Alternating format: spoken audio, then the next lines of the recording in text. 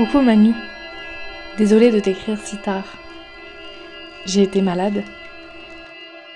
J'ai beaucoup dormi. Tourné en rond dans un sens, puis dans l'autre.